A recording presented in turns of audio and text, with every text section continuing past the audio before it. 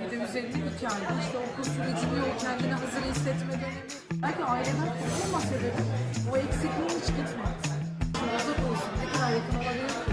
Bilinçli bir şekilde biliyorsun tabii.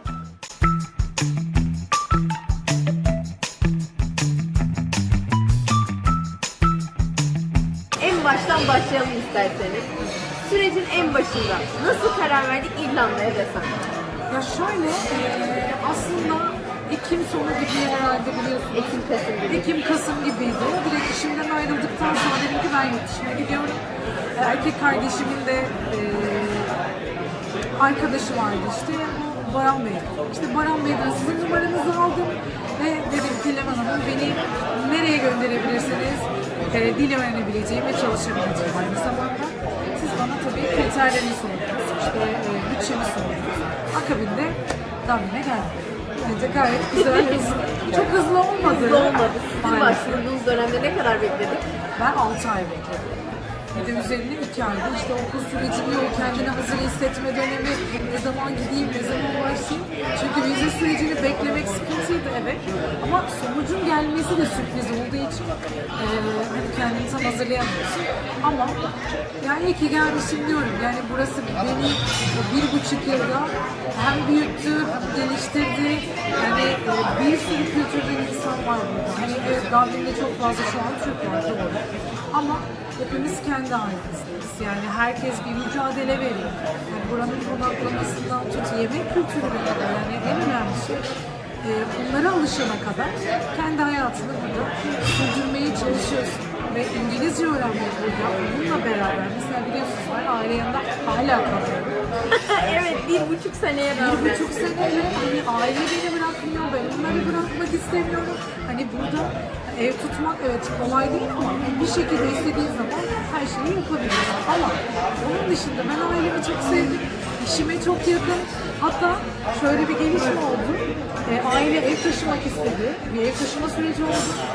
Her şey bittikten sonra bana Dilan sen de bizimle geliyorsun. Hani senin için de bir odamız hala var dedi. Hem duygulandım hem şaşırdım. Çok hızlı bir e, taşıma süreci oldu bizim için. Ama yani hala onlarla beraber, benim de hayvanlarla beraber e, 5 artı bir hayvanımız da yani ara ara bir köpek de geliyor.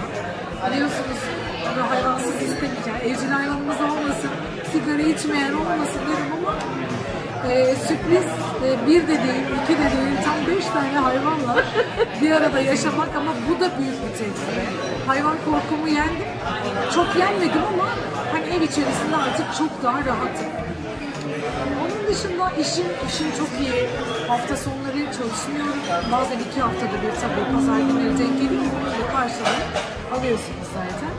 Ee, ya ben bunu memur gibiyim açıkçası. Yani Türkiye'de hafta sonu izin yapmıyordum. Ama burada hafta sonu izni yapıyorum. Ee, sabah sporuma gidiyorum. Kendimi çok güzel düzenledim burada. Ee, bilmiyorum benim için Dublin bence güzel. Tabii ki çok zor. Ee, her ülke gibi yani Türkiye'de bir şehir değiştirdiğimizde ne kadar zorlanıyoruz. Burada bir dil değiştiriyorsun. Ee, yemek kültürü çok farklı. İnsanlar çok farklı. Ama ben ya ben çok keyif aldım. Buradan gelecek arkadaşlar e, tabii ki bilinçli bir şekilde gelsinler. Hiçbir şey kolay değil. Evet danışmanlık firması bir yere kadar bize yardımcı oluyor. Bundan sonraki mücadelemiz kendi kendimize. Ben biraz şanslıydım. Tabii ki tatsız şeyler yaşadım ama e, bence şansım beni hiç yalnız bırakmadı. Ya çok keyifliyim ve hala sizinle iletişim halindeyim. Yani 5 ay önce değil ya bundan belki 5 gün önce, belki 3 gün önce, belki bir ay önce hep bir şeyler sordum size. Murat Bey'le de stamp birim için stamp bir işimizi halledersek ondan sonrası artık herhalde bir pasaport yoluna gideriz belki. Bu videoyu 4 yıl sonra da Pasaportu almışken. evet o zamanları çekeriz. Söyleyeceklerim aklıma gelmiyor çok şey yaşadım. Her gün yeni videolar yüklüyoruz. Bir sonraki videonun konusunu belirlemek için sen de aşağıya yorumunu yap. Peki bizden haberdar olmak için ne yapman gerektiğini biliyor musun? Abone olman gerekiyor. Yurt dışına ışınlanmak içinse aşağıya buton koyduk. Butona tıklaman yeterli olacaktır.